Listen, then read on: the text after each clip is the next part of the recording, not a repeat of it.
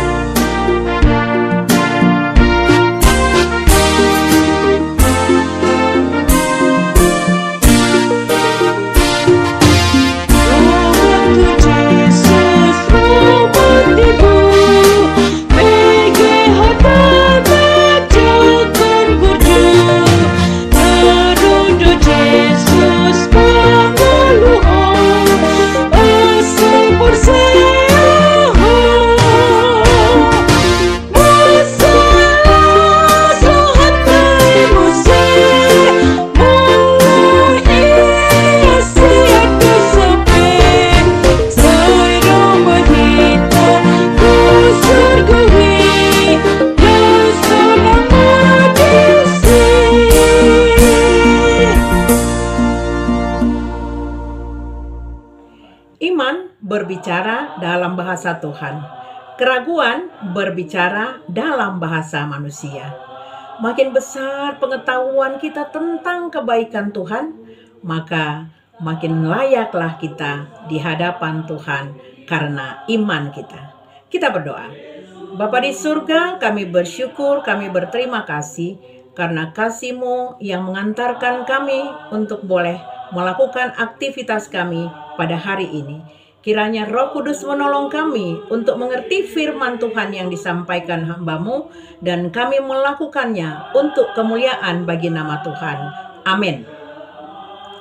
Firman Tuhan sebagai renungan kita pada pagi hari ini diambil dari kitab Roma 10 ayat 9. Demikian firman Tuhan. Sebab jika kamu mengaku dengan mulutmu bahwa Yesus adalah Tuhan dan percaya dalam hatimu bahwa Allah telah membangkitkan dia dari antara orang mati, maka kamu akan diselamatkan. Demikian firman Tuhan. Bapak Ibu jemaat yang dikasihi Tuhan Yesus Kristus, percaya dan pengakuan sangat berperan penting untuk mendapatkan keselamatan. Ketika hati kita percaya kepada Yesus sebagai Tuhan dan Juru Selamat, percaya kepada firman-Nya, maka dibutuhkan pula sebuah pengakuan yang benar melalui mulut kita.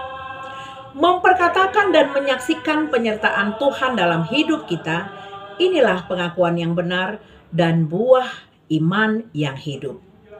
Hal itu menunjukkan bahwa hati dan mulut kita selaras mengakui Tuhan Yesus adalah sumber keselamatan orang-orang percaya.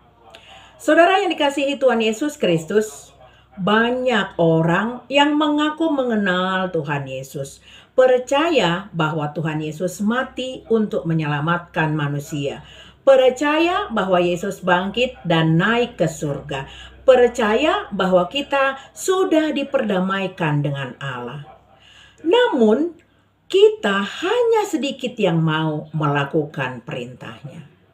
Apakah cukup hanya percaya saja namun tidak melakukan perintahnya? Tentu saja tidak. Sebab ada sebuah ilustrasi. Percaya dan pembuktian akan menyatakan semuanya.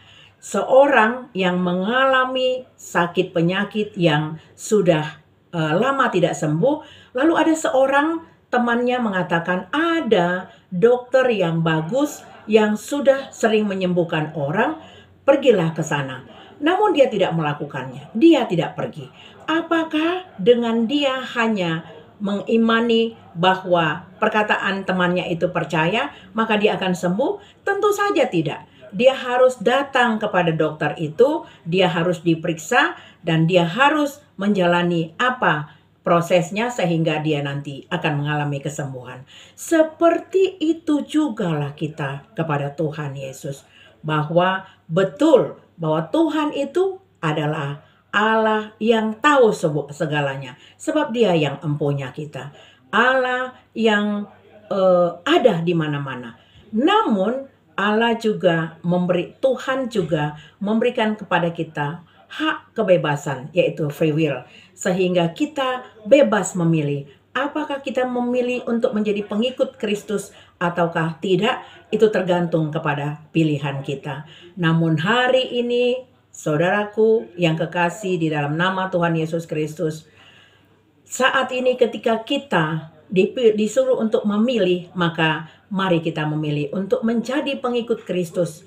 Tetapi tidak hanya cukup percaya saja, nah, namun kita harus mengaku, mengakui seluruh apa yang sudah kita terima dengan gratis, maka kita juga harus membagi-bagikan berkat ataupun iman percaya kita kepada orang memperkenalkan Yesus kepada siapa saja. Sebab itulah tugas orang-orang percaya Ketika kita percaya mengandalkan Yesus, maka mari kita menyaksikan semuanya kepada setiap orang.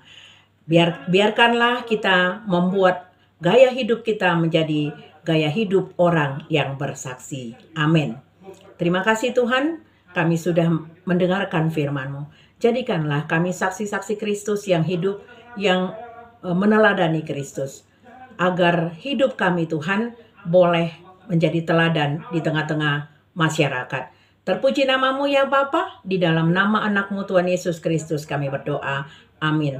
Kasih karunia dari Tuhan Yesus Kristus dan kasih dari Allah Bapa dan persekutuan dari Roh Kudus kiranya memberkati kita sekalian. Amin.